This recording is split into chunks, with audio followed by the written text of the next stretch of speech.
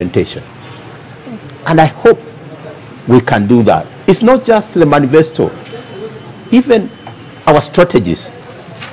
I'll give you an example Kigali Stock Exchange, actually brought from here. Yeah. The CBC, there are people who have run away with it. And it's something perhaps, as we look all this, I think it's also really to see them, all these things they're saying, what is the foundation? And one of the foundation Yeah. is education.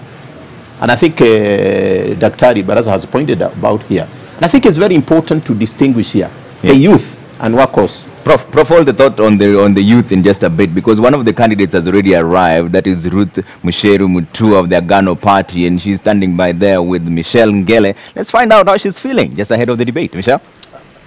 Right, uh, Ruth uh, Musheru is uh, she's the first candidate to make it for the debate here, which is about to, about to begin at 5:30 this afternoon. Trevor, good to see you today. You are the first of two candidates in the first debate. Are you ready?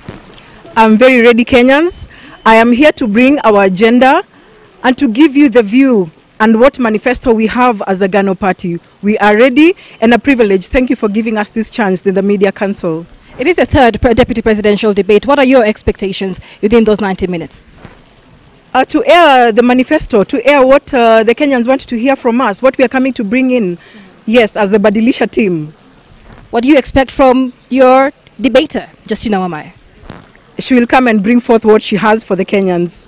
We can debate from that point. Thank you. That is uh, Ruth Musheru. She is the first candidate to make it for the deputy presidential debates here at the Catholic University of Eastern Africa. Trevor, over to you. Thank you, Michelle. And, and Prof, you're finishing your thoughts on Oh, the issue man. of Every time I'm coming, there's some yeah, there's a something commercial going break is coming in. this is happening in real time.